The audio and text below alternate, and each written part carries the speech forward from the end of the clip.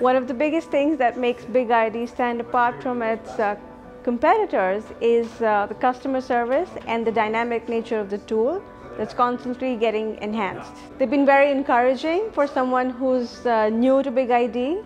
Uh, not new to privacy, but I'm new to BigID. So it's very supportive, it's very collaborative, and it's uh, very open to discussion and feedback. So that's really appreciated. In terms of expectations, I would say my biggest was user friendliness, and uh, it's done that very well.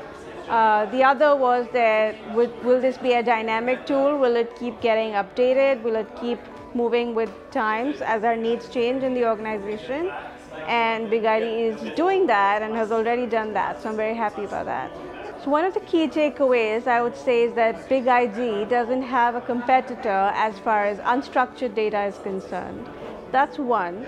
Second is that it's been very successful with collaborating or integrating with other tools, whether it's OneTrust or Collibra. And I think that's very useful for, for organizations that have a large volume of data and want to use several other apps to integrate with BigID.